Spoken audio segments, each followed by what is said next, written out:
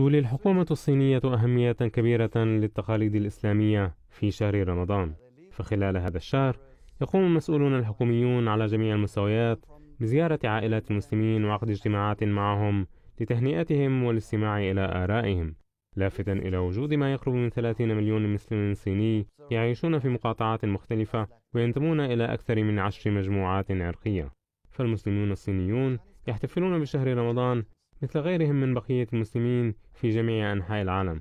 كنت أعمل في يو وهي مدينة في مقاطعة جيجيان شرقي الصين حيث يعمل ويعيش هناك العديد من الأصدقاء المسلمين العرب من الشرق الأوسط يقومون خلال شهر رمضان بطقوسهم من الصيام والصلاة والصدقات.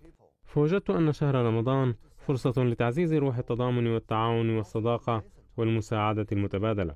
كما يحتفل المسلمون في الصين بعطلة عيد الفطر وخلال احتفالاتهم تفتح بعض مناطق الجذب السياحي للمسلمين مجانا.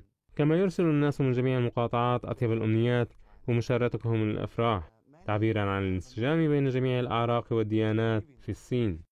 وبخصوص شهر رمضان في دبي وصف لي الشهر الفضيل بأنه مناسبة يشعر فيها بجو مليء بالسلام والمحبة والوحدة والانضباط الذاتي والمساعدة المتبادلة وهي قيم مشتركة للبشرية جمعاء معربا عن سعادته لتعزيز الصداقة مع الإماراتيين خلال شهر رمضان من خلال الانضمام إلى الاحتفالات والمناسبات المحلية. وبشأن العلاقات الثنائية بين الصين والإمارات أكد لي أن العلاقات بين البلدين نموذج يحتذى به في إطار التعاون الاستراتيجي بين الدول.